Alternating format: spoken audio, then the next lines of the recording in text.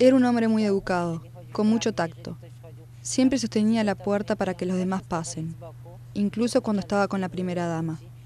Nunca se separaban, especialmente la señora Marie. Era una mujer muy cálida.